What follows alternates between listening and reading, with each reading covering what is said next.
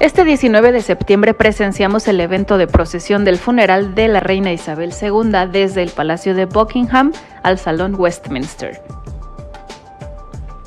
Ahí pudimos ver a la familia real caminando detrás del fúnebre real. Entre ellos, William y Harry estaban caminando detrás de los reales mayores, todos con sus medallas.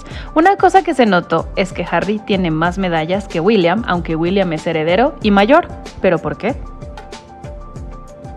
Bueno, esto tiene una simple explicación y es que aunque ambos tuvieron servicio militar, Harry hizo más servicio que William y consiguió un mayor rango.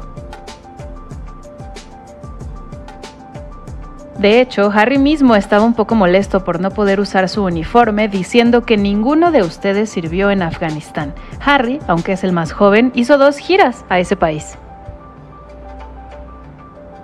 Por su servicio consiguió el rango de capitán y hasta la fecha apoya a sus compañeros militares que resultaron afectados por la guerra. En la marcha se pueden apreciar varias medallas. El príncipe Harry usó sus medallas del aniversario de oro, diamante y platino, así como la estrella KCBO que representa la Orden Real Victoriana, la cual reconoce servicio distinguido. William, por otro lado, tenía también sus medallas de oro, diamante y platino y la estrella Garter de la Orden de Garter, el honor más grande como caballero en el sistema de honor británico, únicamente superada por la Cruz Victoriana y la Cruz de George.